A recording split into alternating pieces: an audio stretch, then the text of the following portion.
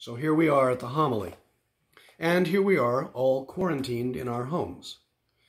By the way, quarantine is from the Italian quarantine, which is the period of time that a widow who had 40 days to live in her deceased husband's house before it was seized for debt. And later it became a 40 day period of time that a ship suspected of harboring disease remained in isolation because they believed that the disease would run its course and be safe after 40 days. Now it just means a period of sequestering. Interesting that we are in a period of 40 days. This is the 22nd day in Lent. And actually, today is Sunday, so it's a Sunday in Lent and doesn't count as a day of Lent. But nonetheless, we're 20 days, 22 days into Lent. So we are in a double Lent of sorts, of quarantine and Lent, or as I like to call it, benching. Today's gospel from John, the story of the man born blind, is truly incredibly topical. Who sinned? The man? His parents? Or in our case, the Chinese? The U.S. authorities? Maybe it was God. As humans, we have to find a reason for what happens around us.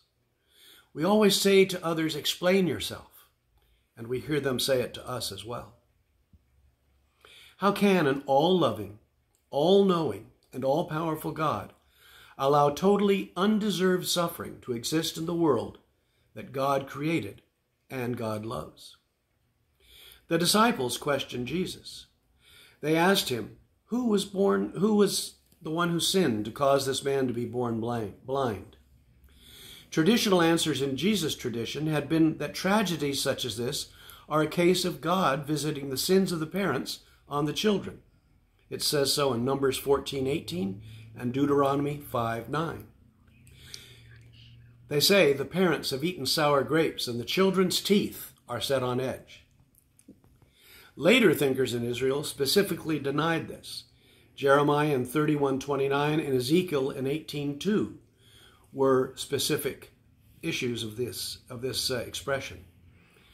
God doesn't skip generation. God treats people as individuals, not as heirs of someone else's sin. So then, aha, a child could sin in the womb, they said. That's weird. A topical example that I just experienced this week before we were fully quarantined was encountering at a family get together a girl with a huge bruise and scab on her face. Who did this to her? Her parents? Then it's child abuse. Perhaps she was careless. Well, what a fault filled child. We found out it was the neighbor's dog. Call a lawyer, file a lawsuit. Oh, she teased the dog and been warned not to do so. Well, then God allowed it. Or maybe it was free will on the part of the child and the part of the dog. But she was treated with tenderness. She was carefully cleaned and held, gently reminded to be caring with animals. And as a result, she has no fear of the dog. In fact, as I observed her playing right next to him in the yard two days later. So, who did what? Jesus does not respond directly to the disciples' questions. He instead says two more things. Though the man was born blind, the works of God can be made manifest. Don't look for God at the beginning of a crisis or a tragedy. God doesn't cause pandemics or cancer or birth defects or earthquakes or strokes or car wrecks, dementia or blindness. Look for God in the middle of the mess. God is working there to bring forth something new, not necessarily a fix, but something that transforms it, that redeems it. This God has wounds on his hands and feet and side, this God remembers the suffering and shares our pain and takes it to himself in his compassion. Secondly, Jesus says, We must work the works of him who sent me while it is day. We must work. A call to reach out and care, to discover, to bring and to share the presence of God in the heart of the tragedy. To set up a love chain in a parish, to contact everyone and assess needs, to learn new ways to communicate, to share over previously unexplored, unexplored venues, to stretch, to reach, to partner with God.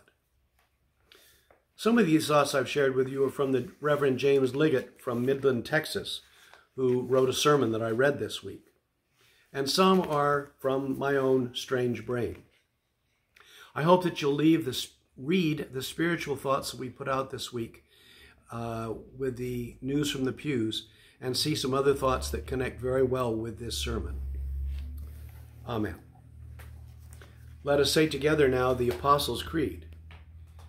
I believe in God, the Father Almighty, maker of heaven and earth. I believe in Jesus Christ, his only Son, our Lord. He was conceived by the power of the Holy Spirit and born of the Virgin Mary. He suffered under Pontius Pilate, was crucified, died, and was buried. He descended to the dead. On the third day he rose again. He ascended into heaven and is seated at the right hand of the Father.